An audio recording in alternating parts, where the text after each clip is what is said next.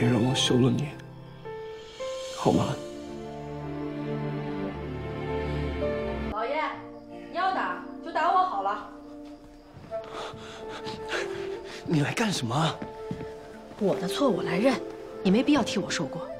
不，你们俩在干什么？爹，是我撺掇吴平施粥的，是我逼他开了粮仓，鼓动学徒房的学徒去帮忙的，也是我。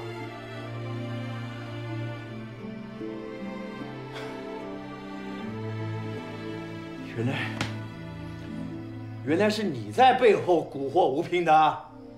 是。那么说，你还是违背我的命令，继续在外面抛头露面？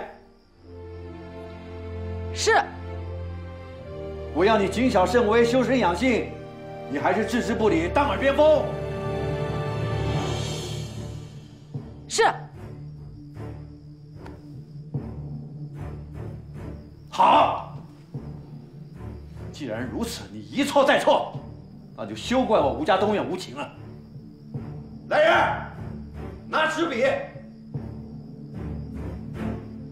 爹，拿纸笔干什么？事到如今，还有什么话说？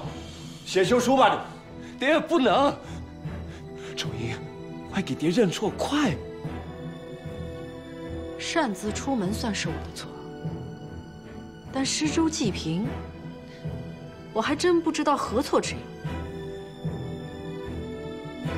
你目无尊长，不守妇道，不思悔改，无法无天，你还敢说何错之有？既然如此，那你就写吧。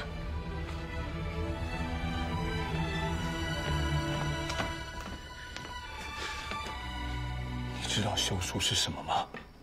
我知道。就是把我赶出吴家东院呗。那你还吴平，你还啰嗦什么？他这个样子还留得住吗？爹，我压根儿就没想过要留下来。我从来就没觉得吴家东院多么稀罕。是，你们是有钱，但为富不仁，我也瞧不上。给我轰出去！不用你轰，我自己走。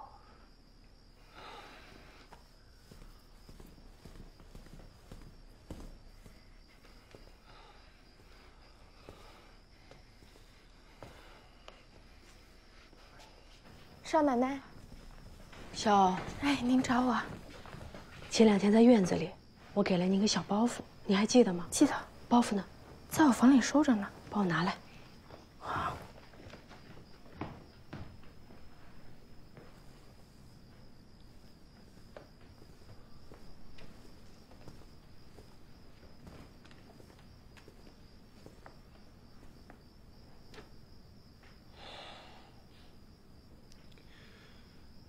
爹骂我个几句，打我几下，也就过去了，何苦要跳出来呢？嘿，施粥这事儿，本来就有我一份。但你也没必要和他争执。现在事情闹大了，他逼着我，非要收了你。没事儿，休就修呗。你就这么嫌弃我？我就这么不堪，让你宁可被休，也不愿意留下来？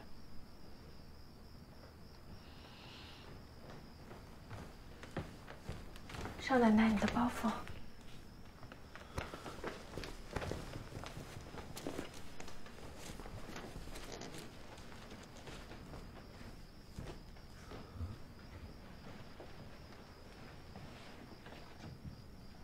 早就想走，是，我早就想走了。为什么？我走了，对所有人都好，既能成全你和胡咏梅，东院也能回归清静，我自己也能落得自由自在。我和胡咏梅？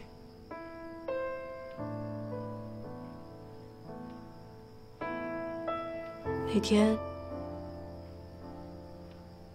你们俩在包间里说的话，我都听到。你听到什么？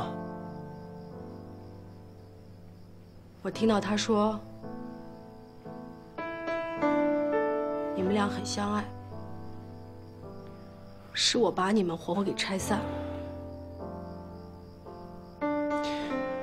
那你有听到我说的话吗？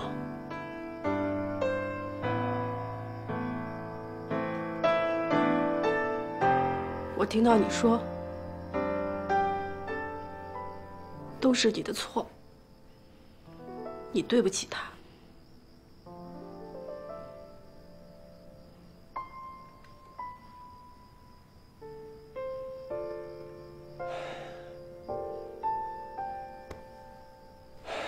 是，我是错了，但并不是错在我娶了你，而是错在我承诺过他要一辈子对他好。我的确是对不起他，并不是因为我没有娶她，而是因为我很高兴我娶的人不是他。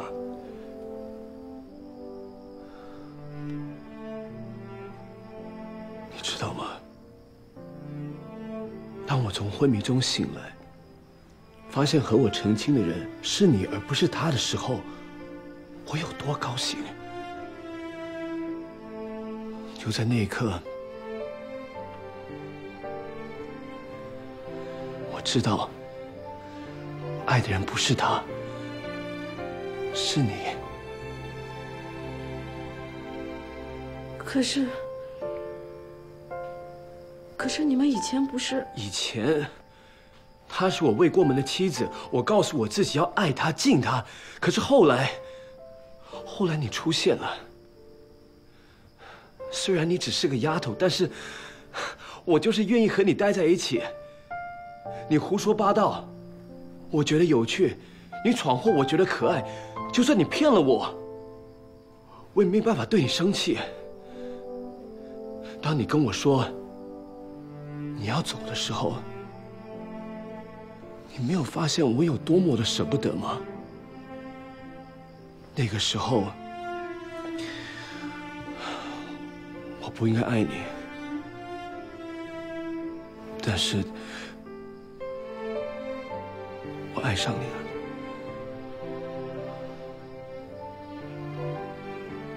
可是你娘觉得只有他才能配得上你，配得上吴家东院，还有你爹。周莹，如果我没有昏迷，如果胡家没有悔婚，那我娶了胡永梅也就娶了，我这辈子也就那样了。可是现在，你是我的妻子，我不管爹说什么，娘说什么，我就不放你走。这一辈子，不要跟你分开。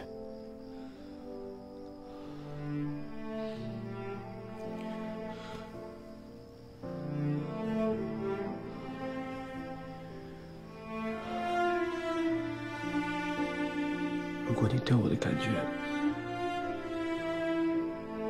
跟我对你的是一样的话，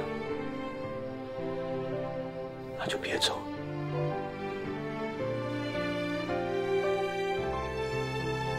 别让我休了你，好吗？